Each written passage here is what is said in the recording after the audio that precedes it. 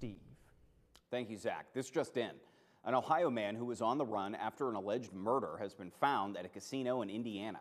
32 year old Dalton Leach from Quaker City was arrested by Shelbyville police in Indiana after the Guernsey County Sheriff's Office alerted a be on the lookout for him.